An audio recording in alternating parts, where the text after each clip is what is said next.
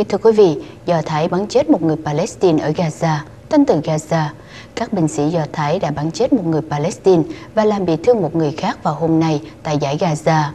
Những người thân tại một bệnh viện ở thành phố Gaza cho biết ông Ibrahim Mansour, 26 tuổi, đang lượm sỏi để bỏ lên xe lượt của ông để đem đi bán khi ông bị bắn chết.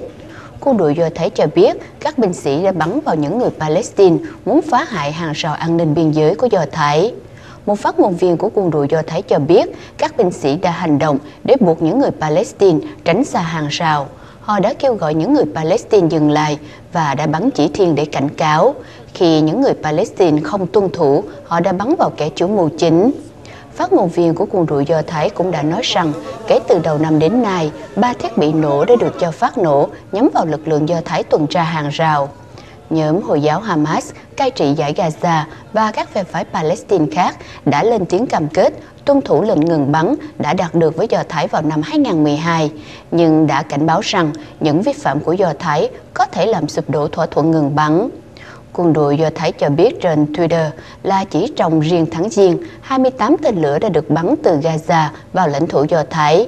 Do Thái đã trả đũa bằng các vụ không kích nhắm vào những phiến quân mà họ cho là đã thực hiện các cuộc tấn công.